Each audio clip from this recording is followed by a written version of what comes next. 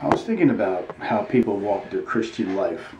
And I think a lot of people who have all these ideas about self perfectionism are practicing what I call crash and burn Christianity.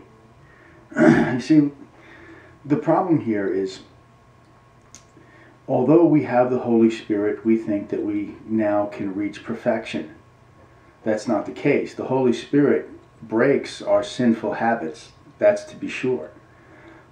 But the big thing that the Holy Spirit does, and walking in the Spirit, is it removes the law. See, the Holy Spirit is not there to convict you of sins. You're already convicted of sins under the law. The Holy Spirit is the Spirit that released you from the fear of sin. Take a look at the holy mountain that the Jews couldn't even go near, and Moses standing in between them and the holy mountain, speaking to God for them. And Moses talking about a prophet to come that's just like that, Jesus Christ. So the spirit of fear of the law is not the spirit of Christ. So when you're walking by the Spirit, you're walking by being protected from the law by Christ. So when Christ is protecting you from the law, now you can ascend that holy mountain. Now you can reach holiness. Perfectly, you're not going to be perfectly sinless. But the more you realize that you're walking in grace and not under the law, the more you're going to become more holy yourself. But these people, and, and when you're in a Christianity that's telling you that your imperfection needs to be perfect in order to be pleasing to God. What are you going to do? Well, since God is holy, I've got to hate sin within me. So now I have to be as holy as God. And yes, be ye perfect like I am perfect, but you have to realize that you're not perfect.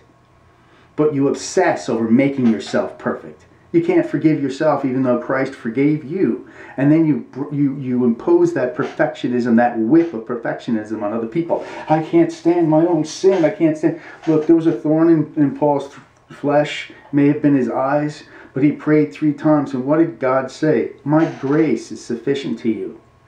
When Jesus was talking to the Pharisees, talking about the Pharisees and talking about these self-righteous people, he says, you strain out a gnat when there's an elephant in the room. You see, you can't walk your Christian life trying to become as holy as God because every time you do, you're going to crash and burn because your eyes come off of the Savior that loves you just the way you are. It's called unconditional love. And when you walk in that unconditional love, the sins that you're fighting against, you you know, you're beating your body for. By the way, beating your body does not help you get sin off to, that does not help you stop sinning. Because the minute you try to beat it off, you've got another sin behind you. Uh, pride. You, every time you try to attack a sin, the only thing that you're doing is you're just masking it or trying to act humble. You see people try to act humble. I'm humble. You see them all of a sudden they blow up and go, oh, I, I, I tried and, and I just, I had that sin killed because I was trying to mortify the flesh. Well, that statement, kill the flesh, mortify the flesh, means by the Spirit. Remember to take the snippets.